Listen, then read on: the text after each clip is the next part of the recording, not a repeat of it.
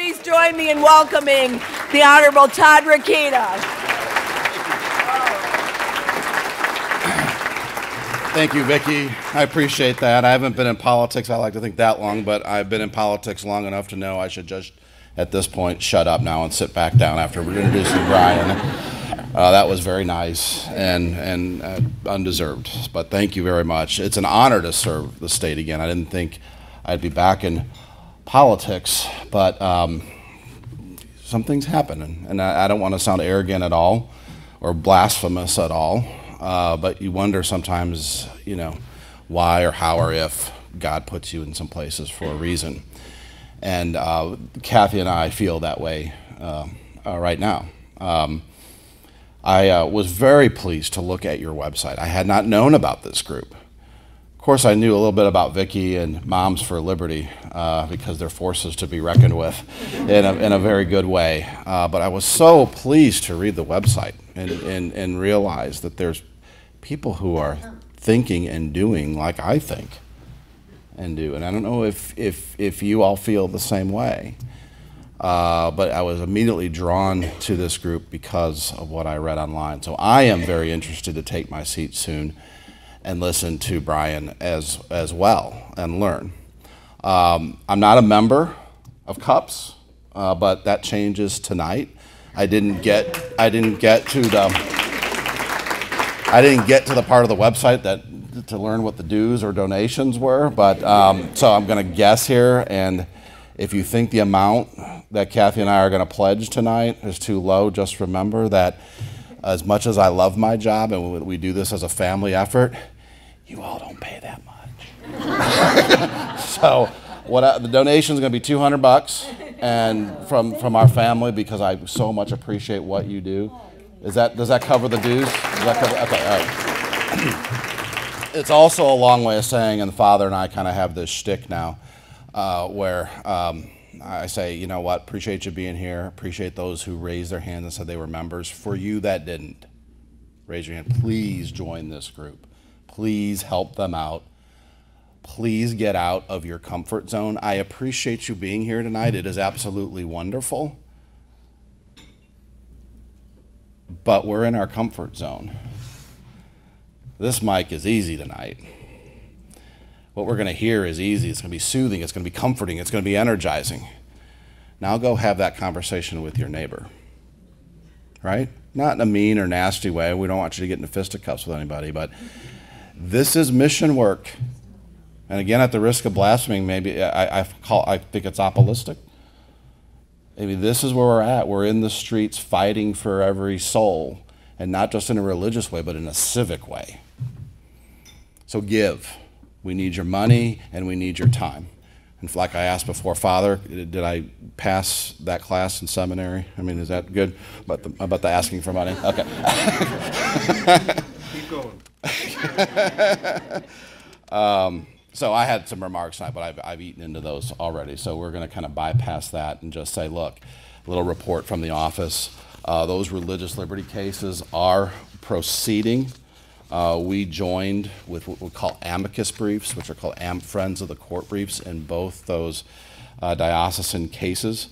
Uh, in the Roncalli case, uh, oral arguments were uh, just occurred in May before a three-judge panel of the Seventh Circuit.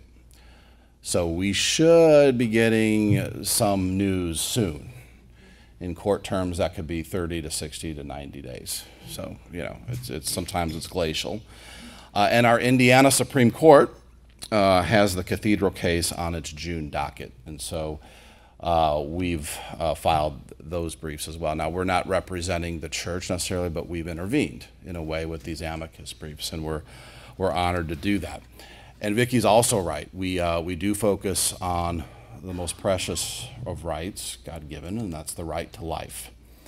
Um, so after religious liberty, you see us, or before religious liberty, even you see us spending a lot of your tax money, all jokes aside, on these cases, and we get attacked for it. Why are we defending that goofy Indiana statute and wasting taxpayers' money? This isn't what the Attorney General's office is supposed to be about. Well, um, you elected me. You elected me by a wide margin. Until you get rid of me, we're going to focus on, on life issues.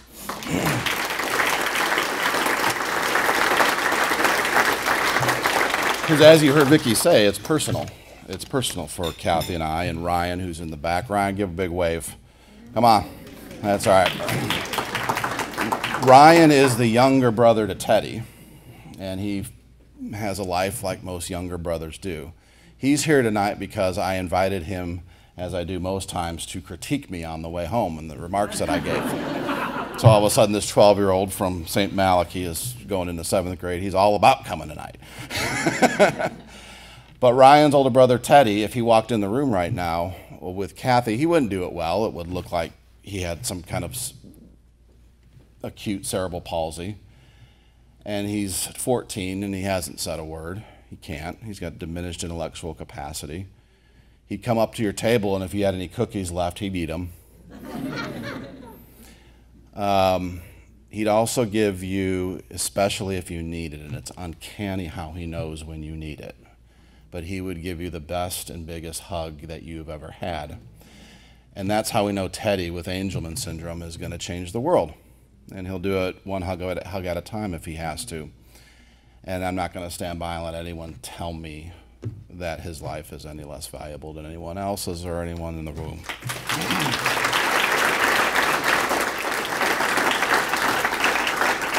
so we fight for Teddy, we fight for all life from its beginning to its natural end. Uh, we also fight for kids. I mean, I've never thought I'd say it, but to see what they're getting taught in schools, and it's not just public schools, it's public and private, depending on which ones. And so we have the Parents' Bill of Rights. Uh, what, what I saw uh, last year, parents for the first time, American parents for the first time, Hoosier parents, for the first time in a long time, as a group, getting together and getting involved in parenting because when you go to a school board meeting, when you pay attention to their educations, when you do all those other things that parents do, as my wife has to remind me, you're parenting. And that's the first job of an adult. And, and, and so when I saw, after being the, the, the, the K through 12 education chairman for six years in the House of Representatives and going through all those battles, and I saw parents not being interested for so long, and I saw this, I thought, we got to encourage this. We don't want them hauled away by an SRO or other police officer like we saw in Virginia. We want them empowered. So we came up with the Parents' Bill of Rights, and it's in its second edition. It's some good night table reading. It's 56 pages in question and answer format, and you will be empowered to go to your school board meeting and otherwise parent. And uh, we're having a third edition come out now, which is going to talk about school choice. It's going to talk about religious liberty in your schools, along with all the other issues. So we're so we're doing that. And then I just want to end up as I get ready to finally introduce Brian to to say we need to pray and we need to thank and we need to pray more for our General Assembly. They did a good thing when they overrode the governor's veto. Um, they did. They did. They also did a good thing when we noted in the Bill of Rights that, and I didn't know this, but did you know? Now remember, your school board, by and large, is elected. You elect them. Um, you can't speak before them unless they say you can. Now imagine a bill going through the General Assembly or the United States Congress without a hearing and no public input. Oh, hold on, wait a minute. Um, wait a minute. Um, right? So the general, after pointing this out, and, and uh, they did that. They, they made it um, uh, the law that uh, for at least two or three minutes, um, parents get to address their school board and ask questions. It has to be civil, of course. Of course, why wouldn't it? Uh, but that's that's a change. They deserve credit for getting that done. Those two things being said, that's low-hanging fruit, guys. There is so much more that could be done. But ultimately, like the pro-life issue itself. Um, we can legislate, we can legislate, we can legislate. But it's not to make these actions or this behavior illegal, it's to make it unthinkable. And, and you could say, hey, Todd, we've hired you to do all this and go do it. I will tell you this if you wait for me to do all this, or other like minded politicians, I like to say public servants, we will lose. I got back in the battle, I left the private sector, we're doing this.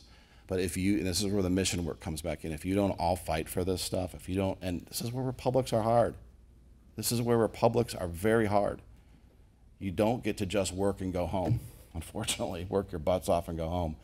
You got to keep the republic, like Benjamin Franklin said all those years ago, if we're going to have such a thing. And it takes a lot of work.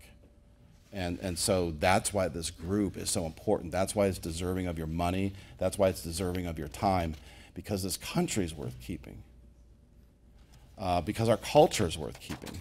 So it's not just statutes getting passed by the General Assembly or anybody else. It's us taking back control of our culture, our lives, our country, uh, and bringing up our kids. And no one else can do that um, uh, but us.